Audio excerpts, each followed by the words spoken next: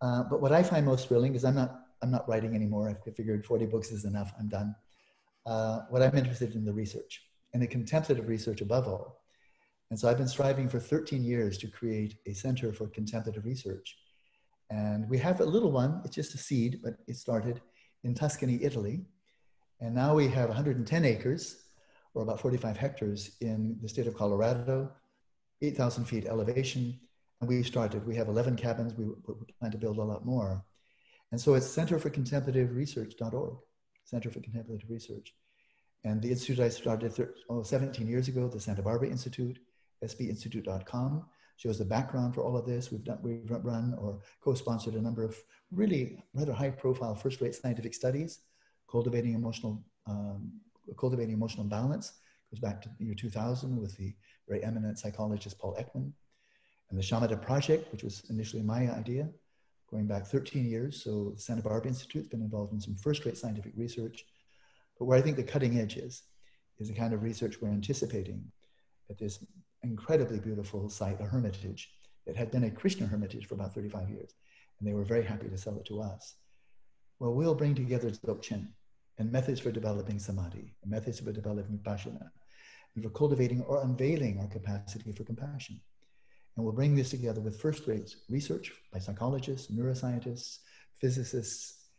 And I think we may do something really groundbreaking here. And all that's required is not any leap of faith at all. Not a leap of faith into materialism, not a leap of faith into reincarnation or karma or God, but an open mind and a spirit of what William James called radical empiricism. Let's set all our assumptions aside. They may be valid, and then we'll hold on to them.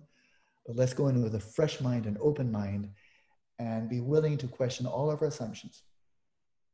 And those that are true will wind up being be seen to be truer, and those that are false will go the way of the dinosaurs. They'll just go extinct and become memories.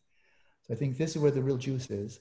And to end on a larger note, I think all of us, like yourself, myself, who are really concerned about the world and are intelligent, we're informed about the impact our 7.8 billion human beings are having on the planet.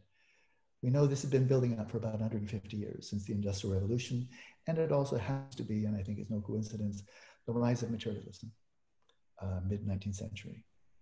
Uh, that the effect on the environment is utterly catastrophic, and it's not slowing down. We burned more carbon fuel last year than ever ever before, and that's with the full knowledge that we're destroying the planet with it, with global climate change. And so, if we are to preserve human civilization through the rest of this century. Because it is either be gone or we will have solved the problem by the end of the century. It's that dramatic and that urgent. There needs to be a fundamental shift. And I have so much admiration for science and technology. My own life, the fact that we have this conversation, benefits of scientific technology, and give the credit where credit is due. It's fantastic. But all the science and technology we have is enough to solve all the impact, all the detriment we're doing to the environment, and we're not taking advantage of it. And religion, there are religious leaders like the Pope, very conscientious, every very wise, every comment he makes about the environment, socially responsible. Dalai Lama, keen advocate of environmental preservation, you know, green. And yet we're not paying attention. You know, billions of Christians not paying attention, Buddhists not doing that much damage, aren't so many of us um, if we are to save human civilization and save the planet for other species as well, we wiped out 40% of the wildlife in the last 50 years. Then there has to be something really deep, a fundamental paradigm shift in which we radically alter, revolutionize our very sense of who we are, role of humanity in the universe, and not with leaps of faith, but with a union of the best of science and the best, I believe, of contemplative inquiry and see that the potentials of human mind, one could say, actually are literally infinitely vaster than anything we've envisioned in modern Eurocentric civilization. Potentials for awakening, uh, for meaning, for, for liberation, for transformation are beyond anything we've possibly imagined in all of Western civilization. And it does not mean converting to Buddhism or converting to Dzogchen but going deeper and deeper into our own heritage and finding that we have been sitting on treasures all along, hidden in plain sight and not noticed.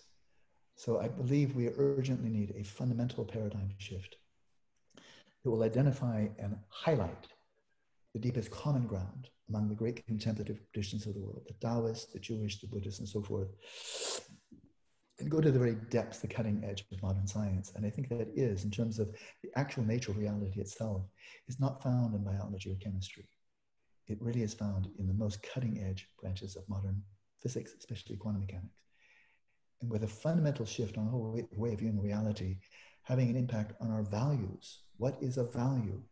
What can really bring us the kind of happiness and fulfillment we seek? And how can we optimally treat each other, the environment, other species? It has to be a very deep shift. And I think we're ripe for it.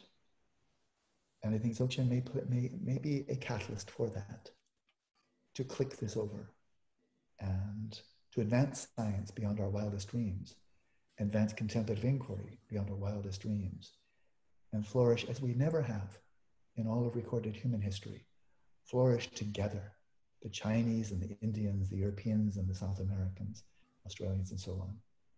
I think there is a very, very luminously bright future ahead if we can only see it's there.